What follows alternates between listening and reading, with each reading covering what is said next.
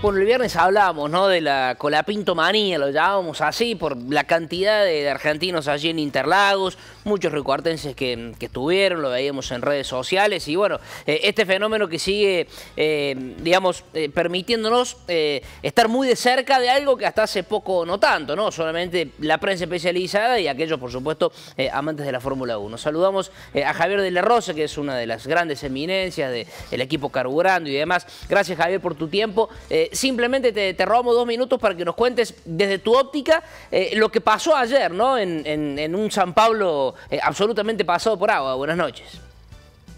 ¿Cómo están chicos? Buenas noches. Un gusto, un placer poder estar con ustedes. Yo siempre digo, eh, me gusta comunicar de manera popular, sin tecnicismos, para que todos entiendan un poco de este gran fenómeno, como claramente decías, que se llama Franco Colapinto, que tiene 21 años y que ayer muchos argentinos que abrazamos este deporte con profunda pasión, veíamos tristemente cómo se producía su primer abandono en la Fórmula 1 después de un golpe eh, muy fuerte eh, que provoca una catástrofe económica para el equipo Williams. Su otro piloto, el compañero de equipo de Colapinto, Albon, no había podido ingresar a la grilla de partida por un golpe muy fuerte también en la parte final de la clasificación. Pero vamos a remitirnos pura y exclusivamente a Franco Colapinto. Lo vuelvo a decir de vuelta, es un fenómeno, un crack, un pibe que con 21 años desembarcó en la Fórmula 1 con la posibilidad de haber ya sumado puntos. Su quinta carrera, no pongamos el foco en lo que le pasó ayer a Franco, en una condición de pista muy pero muy difícil. Hubo una controversia con el equipo, Franco quería apostar a otro tipo de neumáticos, el equipo prefirió que siga con ese compuesto de neumáticos, con la Pinto trata de alcanzar al pelotón, se produce el despiste el propio Franco lo explica como que había una trayectoria muy importante de agua y le saca el volante de las manos y ahí se produce el golpe.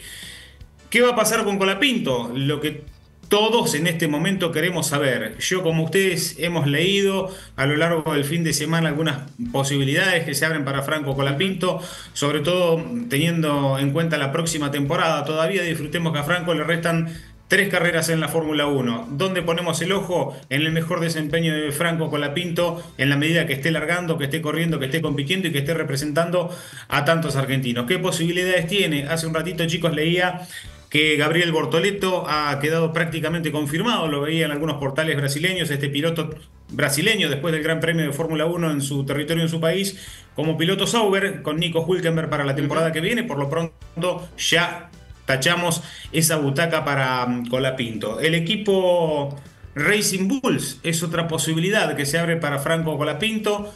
Esperemos todavía qué va a pasar con Checo Pérez, compañero de Verstappen. Si se va Checo Pérez, dicen que su noda podría ser alguna oportunidad de, continuidad en su carrera deportiva dentro del equipo. Con Verstappen, ahí se abriría otra puerta para Colapinto, pero la realidad es que más allá de todo lo que se dijo, las posibilidades, lo que es, los contratos en Fórmula 1 llevan mucho tiempo, no se hacen de un día para otro, tienen que revisar los especialistas, así que por ahora, como argentino, como amante del deporte motor, disfrutemos de este cracks, de este pibe que tiene 21 años, como te lo dije hace un ratito nada más, y que ha demostrado su talento en cada participación en la Fórmula 1, independientemente de lo de ayer, ¿no? Que puede pasar en este deporte. Sí, por supuesto. Eh, Javier, por último, em, digamos, ¿sería un escenario planteable el hecho de decir, bueno, 2025 eh, sin butaca y 2026 sí? Digamos, ¿podría ser una, cosa así o, el hecho por ahí de, perder esa continuidad hace que por ahí otros pilotos puedan eh, ocupar esos lugares?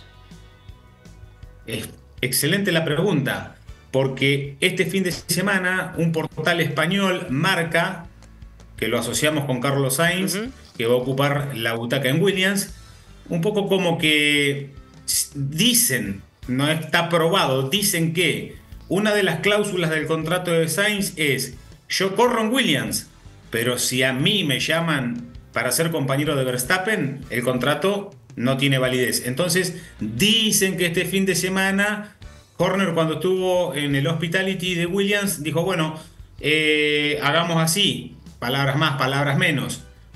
Tengamos a Sainz en nuestro equipo y te damos a préstamo a Colapinto. Pero bueno, es una posibilidad. Yo quiero que Colapinto sea en el equipo que sea, esté corriendo en la Fórmula 1. Y si no, bueno, como lo ha dicho el propio Franco, ¿no? Si no estoy en, los planes de Williams para la temporada que viene, que me liberen. Así que Ojalá que tenga la, oportunidad, Franco. Estaba muy bien planteada la pregunta. Entiendo que viene por ese lado, sobre esa charla que hubo el fin de semana en, Brasil. Javier, gracias por tu tiempo, un gusto escucharte. Bueno, siempre, eh, aparte de las veces que han venido acá a Río Cuarto, ¿tenía cuántas veces has venido a Río Cuarto a trabajar o no?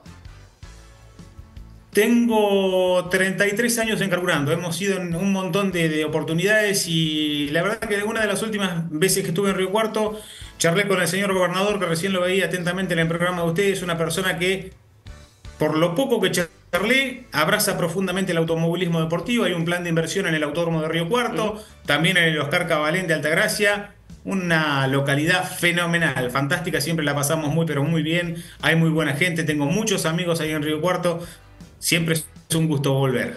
El gusto nuestro, querido Javier. Abrazo grande. Un abrazo grande. Gracias por el tiempo de ustedes, chicos. Un saludo muy cordial a cada uno de los cordobeses y recuartenses que están en el programa. Chao, buenas noches. Chao, chao.